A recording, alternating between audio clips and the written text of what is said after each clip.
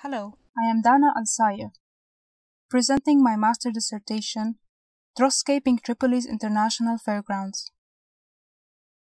Coming from Lebanon, I've constantly questioned the role and importance of contested legacies scattered all around my country, which directed me towards choosing one of the most controversial legacies of Lebanon. The International Fairgrounds of Tripoli in a city located on the coast of the Mediterranean Sea, also known by the name Al Fayha, which translates to the fragrant city, symbolizing the smell of citrus trees that used to cover the entire city long ago. This city has developed along three nodes throughout different historical eras. After the independence of Lebanon in 1946, the new government decided upon enhancing the economic and political role of Tripoli in the Middle East by establishing the third node of Tripoli, crowned with a fairground. For that, Oscar Niemeyer was invited to design.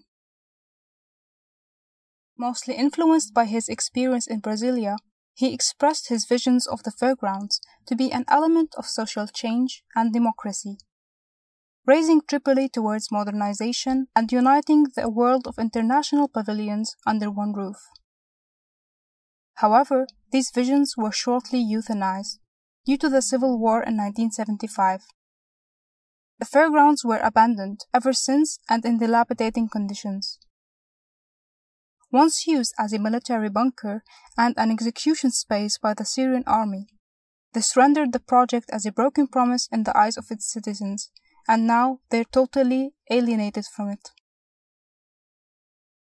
This alienation is not only due to the misfortunate political circumstances.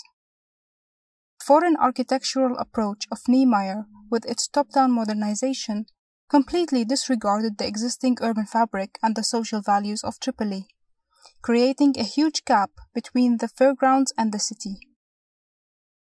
And now, after decades of its initiation, a series of urban, social, and cultural dichotomies can be mapped as the aftermath of this project, dividing the city into three parts. To further the mental borders, the government placed an infinite wall of concrete blocks around its circumference. Visual and physical access remain a fantasy for Tripolitans. The wing that was once intended to host unity of the world is now off limits for its own people. For decades now, the fairgrounds has been associated with a negative perception of being a waste space. But is this really what it is? Perhaps if we change the way we look at it and regard its isolation as a bless that has been protecting this modern urban island from sprawl that currently dominates the rest of the city. This space suddenly becomes positive giving opportunity for more sustainable and responsible interventions that can serve the desperate needs of the city. The Ibirapuera Park in Sao Paulo is a project by Niemeyer and Marx. It is considered a very successful public space where visitors live exciting experiences in the vicinity of various landscapes and functions. Perhaps this project stands closest to reveal what could have been the outcome of the fairgrounds had it been finished and put in use. And by that, it also highlights the essential absent role of landscape in the case of Tripoli. This sparks up a true potential of a large green patch dedicated as a breather for the entire city of Tripoli. Therefore, an analogy to a jewelry box is born that has been safeguarding this monument, but instead is filled with greenery and even more, an urban wilderness. A greenification process that gradually dissolves and breaches the perimeter. And the first step towards doing that is by tackling the existing wall, which is now dismantled and used as scattered canvases in the landscape.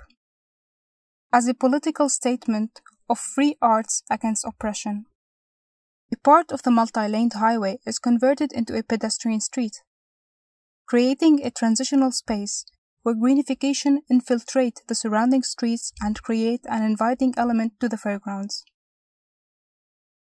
While the other side of the highway is crossed over by means of bridges, facilitating access to the coastal lands and into the sea. This greenification is not only a decorative element. Landscape is considered as infrastructure, and as referred to by Alan Berger, it is drosscaping. Drosscaping the land into an essential system of wetlands that in turn helps solving the issue of wasted and polluted water in Tripoli and as a result giving out interesting landscapes, balancing ecosystems and serving water demands of the urban gardening area where a significant portion is dedicated to revive the legacy of the citrus trees. Along this strategy, a more architectural intervention is designed. On the most prominent element of the fairgrounds, the wing that originally was imagined to unite the world can now reunite the people of Tripoli with different socio-cultural backgrounds along a common ground of productive activity. These activities that shape an essential aspect of the city's identity throughout the centuries. As productive activity serves as the main source of income and development in Tripoli. These activities are currently confined to insufficient spaces in the old inner city that can no longer sustain their expansion and development, leading the youth to give up on their own skills and flee the country. Therefore, this wing that currently stands as a threshold, dividing the fairgrounds into an eastern and western part, poses a remarkable affordance for these activities to thrive. In order to establish visual and physical connectedness, and to overcome this threshold, the wing is levitated by a height of 10 meters, freeing the ground floor level and giving space to vertical development. Due to its prominent modernistic features, there exists an alienation between Tripolitans and the wing in particular. For that, the idea of introducing familiar architecture emerges by reinterpreting traditional typologies of the old city. The first being the courtyards that are a central space featuring elements of greenery, light, and vertical circulation. Applying this concept to the wing creates vertical cores and connections into and from the wing. The second being the souks where productive and commercial activities originally took place.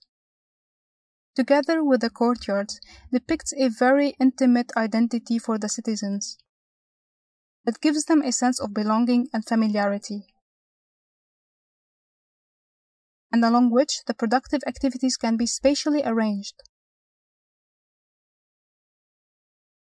The wing is divided among the different activities that can now take place in a more equipped space, not only in the inner city, which are then arranged and grouped according to common products and dependencies.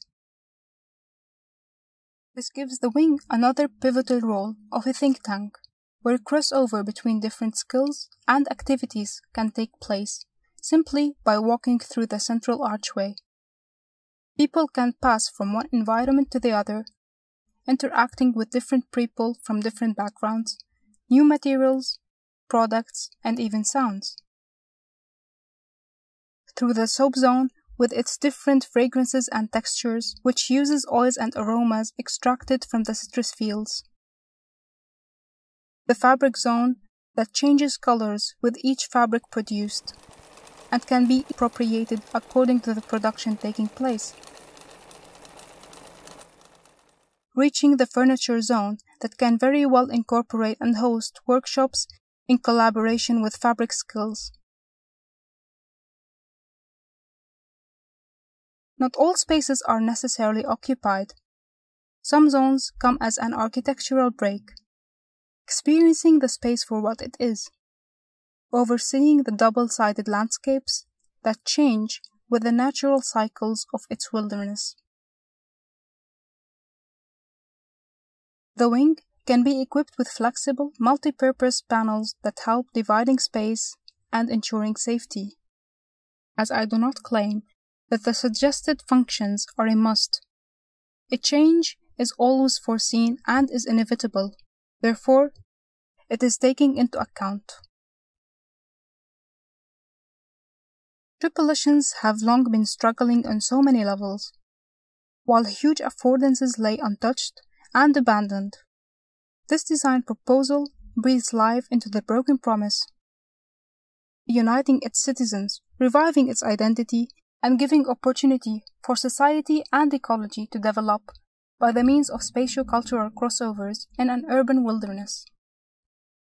A special kind of wilderness that is not wild in the negative sense of the word, but rather is free, giving justice to human scale and experience, all which can be lived in the new third node of Tripoli, marching a step forward towards mending the broken promise and sparking a true development of Tripoli and its citizens.